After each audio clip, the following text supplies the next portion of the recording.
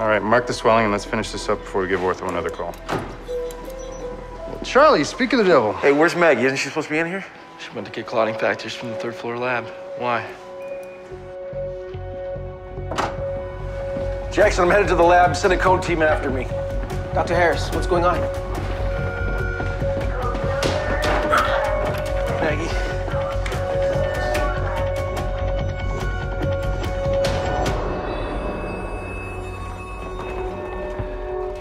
Pulse ready. Give her mannitol. Let's go. Let's go. Pupils are dilated. So now that we've actually seen the episode, obviously there was a lot more going on uh, that now you can maybe talk a little bit more about. So, what can you tell us about some of the things that we've now seen from, from that episode? Obviously, Um, I know when I read the episode slash episodes, I was I was really excited to have the great privilege of playing a ghost. um, but the uh, the second half, ten really picks up from the sort of cliffhanger of her having um, had this brain hemorrhage. Sounds awfully dramatic now that I'm talking about it. Uh, when I read the script for 410, I was, like I said, honored to have this uh, this bash at playing a ghost, which an honor has, which has been bestowed, I think, upon Michael, Erica, and Daniel. So it was my turn, and I was very excited. Um, but the best part about it is just this finding the balance. You know, between well, what it is. It's a life and right. death, and dis- it's a really tricky thing playing ghost because you are forced to sort out all of your issues Right. in one episode, or I was, and um, Michael and Greg, who was directing, were so great and supportive and helped me track everything through, and Adam. Um, and so I think we really kind of honed the, the storyline. But I think, so, you know, the trap with the ghost character is that you're going to be sort of generally confused. That was my worry, that my trap for myself. was Right.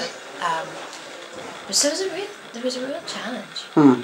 And Ghost, the ghost episode was a real challenge, a good, uh, a welcome one. But uh, and again, throwing that wrench into to the acting, really like to to here try this. yeah, It's very yeah, because interesting. I mean, you know, there's nobody other than Michael. There's nobody to affect. Mm-hmm. So you really have to do a lot of work to um, create for yourself. You know what what you're grappling with. Right. You know your unfinished business or, or what have you. And But she recovers so quickly. she has like she has like this crazy life saving brain surgery and then wakes up. So I didn't have to. d- That works out well, long. yeah. it was very glamorous. And- I had a very chic headband. Does that affect her going forward? Or are we going to see some sort of repercussions, or is it kind of Um, a moment of clarity for the character more? you know, it's funny. Andrew like uh, toyed with some stuff. I think the idea that it would linger more, um, but the way that we've dealt with it is um, in the episode. She kind of comes comes to the realization that she had that uh, that she has this community here that loves her and that make it worth staying. Hmm. And so the episodes that follow, um, she is reunited with Sydney, Stacey Farber's character. Right.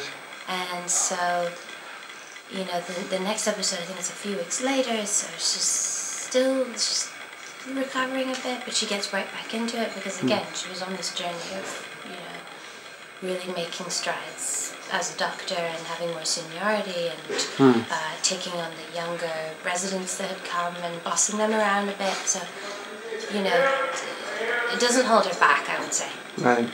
And I think um, Sydney distracts her a little bit. Right.